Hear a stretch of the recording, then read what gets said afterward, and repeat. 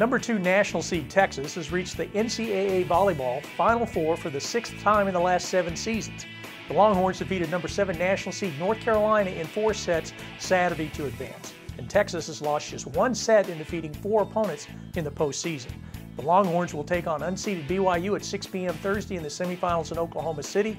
The winner of that match will take on the winner of Stanford Penn State for the national championship Saturday. The winning streak reached 17 in men's basketball in the Big 12 as the league went 4 0 Sunday. The Big 12 had a perfect week and continues to have the best record in college hoops 78 13, a winning percentage of 857. Here are some of the notable outcomes. Number 14, Iowa State followed up its victory at Iowa Friday night with an 88 78 victory over Southern Sunday as all five starters scored in double figures.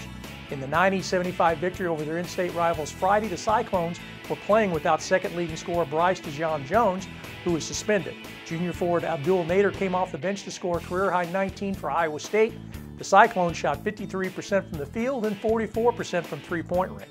On Saturday, number 10 Kansas lost a 21 point lead but rallied in the final minutes to defeat number 13 Utah 63 60 in Kansas City Sprint Center. Number 16, Oklahoma got 25 points from TaShawn Thomas in an 87-68 victory at Tulsa, and Oklahoma State bounced back from its only loss of the season with an impressive 73-55 victory at Memphis. And two milestones in the other two games Saturday. Number 8, Texas defeated Texas State 59 to 27. That's the fewest points the Longhorns have allowed since 1945. And TCU is 10 0 for the first time in school history following a 68 50 victory over McNeese State.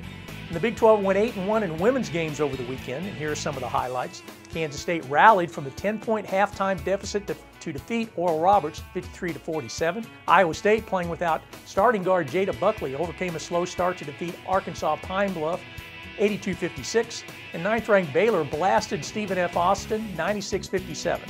The Lady Bears are beating their opponents by an average of 36 points per game, and sophomore Nina Davis has been outstanding of late, averaging 32 points and making 46 of 59 shots. That's 77.9% over the last four games. For the Big 12 Digital Network, I'm Wendell Barnhouse.